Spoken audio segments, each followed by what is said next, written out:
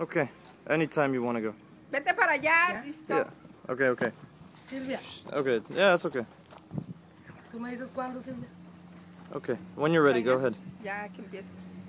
Bueno, este es el, la Casa de Salud y Centro Comunitario. Ya va a tener un año de construido. Aquí en las mañanas se atienden un aproximado o un promedio de 500 familias, donde tenemos doctores, medicina y atención general para la mujer y las familias. La, Casa de Salud está abierta de 9 de la mañana a 1 de la tarde. Y es, el, son, es lo que ofrece la atención médica, las medicinas y la consulta. En las tardes es un centro comunitario donde se dan talleres para madres, para niños. Eh, tenemos el taller de manualidades donde se enseñan a las mujeres hacer actividades que puedan sacar un poco de dinero para venderlas.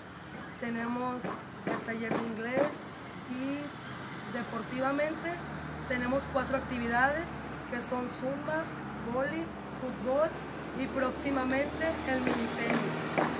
En en la, cen- en la casa de salud se atiende un, un aproximado de 300 niños a la semana entre todas las actividades y un aproximado de las mismas mamás porque mientras la mamá hace una actividad el niño está en la misma.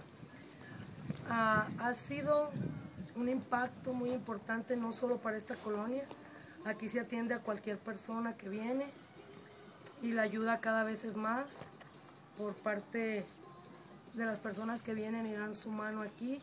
Ahorita ya tenemos un área de juegos que no se tenía en toda la comunidad y pues esperamos seguir atendiendo más y más y que esto siga creciendo y gracias a ustedes.